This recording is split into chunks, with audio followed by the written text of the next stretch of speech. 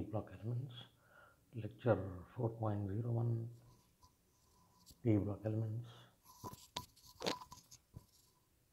slide stage 1, stage 1, example number 8 and slide number 20.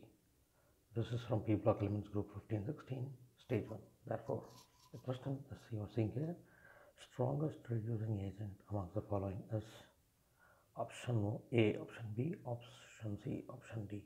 Okay, just explain you. I'm going to explain you how this is going to be, how what is the answer and how we can uh, do it very easily. Excellent. So this is going to be example number eight.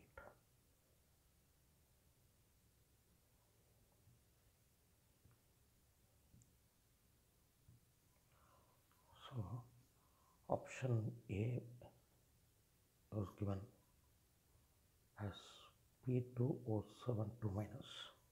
Calculate the oxidation number of phosphorus. Let's let X represent oxidation number of phosphorus. So this will be 2x minus 14 is equal to minus 2. Therefore, x is going to be plus 6 okay next option b p2o6 2 minus.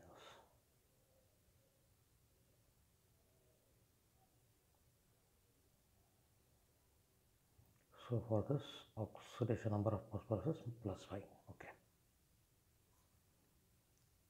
Next is H3PO4 phosphoric acid just apply the normal rule of uh, redox reactions that you learned last year how to calculate the oxidation number of phosphorus so easily with the basic rules.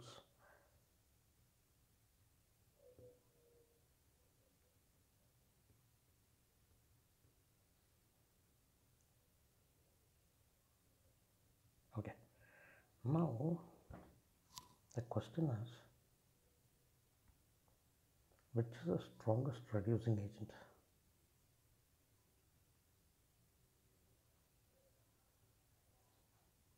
Please understand, strongest reducing agent is a substance that can be oxidized easily.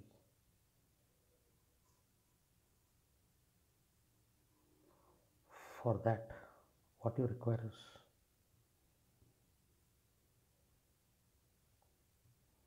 you have to identify the molecule amongst these choices which is going to be oxidized easily.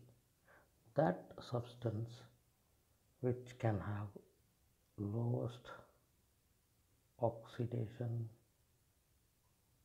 number because the highest oxidation number the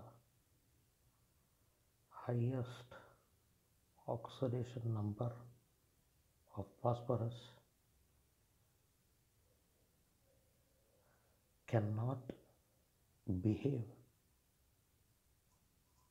as a reducing agent because it cannot be oxidized.